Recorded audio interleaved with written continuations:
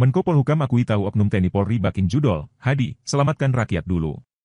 Menko Polhukam Hadi Cahyanto berbicara soal dugaan oknum aparat TNI Polri membekingi judi online.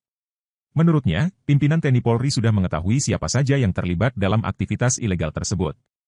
Bahkan data terkait hal itu sudah berada di tangan mereka. Demikian disampaikan Hadi seusai menggelar rapat perdana koordinasi tingkat menteri tentang pemberantasan judi online di kantor Kemenko Polhukam, Jakarta Pusat pada Rabu, 19 Juni 2024. Hadi menegaskan bahwa oknum aparat yang terlibat dalam judi online tidak akan diikut sertakan dalam Satgas Judi Online yang baru dibentuk. Ia pun berharap pimpinan TNI Polri dapat menindak tegas anggotanya yang terlibat aktivitas judi online. Namun demikian, Hadi menekankan pemerintah akan terus berupaya menyelamatkan masyarakat dari dampak buruk judi online. Uh, terkait dengan dugaannya uh, aparat TNI Polri yang membikingi judi online ini, Pak.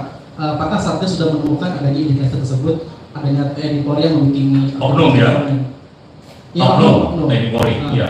Dan memang apakah sudah ada oknumnya dan ini kan aktivitas judul udah lama Pak. Kenapa baru pemerintah baru sekarang uh, panas ini Pak baru menindak ini bagaimana Pak dan ini kan uh, belum ada penindakan kepada bandar.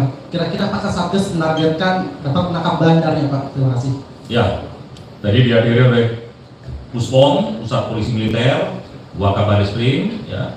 Ini saya kira sudah tahu apa cara bertindaknya untuk itu. Yang jelas kita yang pertama adalah menyelamatkan rakyat. Rakyat dulu yang 80% rakyat itu yang mainnya hanya 10 ribu sampai 100 ribu. Bayangkan rekan-rekan media sekali. Hanya seorang tukang cek pulang tidak bawa duit. Karena apa? Karena ingin melipat gandakan pendapatannya. Namun habis di judi online. Masyarakat kecil kasihan. Ada lagi yang ingin mendapatkan lebih banyak dari hutang kalah di judi online. Ini yang utama yang kita berantas.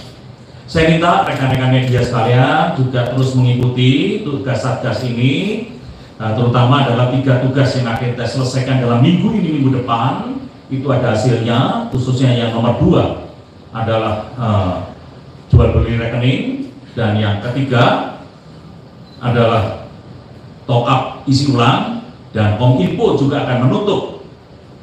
Itu pasti ada hasilnya. Karena menutup server yang ada di luar negeri. Untuk yang pertama tadi laporan PPATK ini perlu waktu 30 hari dari laporan. Karena setelah 30 hari tidak ada yang ngaku maka aset berupa uang itu sesuai putusan pengadilan akan diambil untuk negara dan dilakukan tindakan hukum oleh aparat. Download Tribun X sekarang menghadirkan lokal menjadi Indonesia.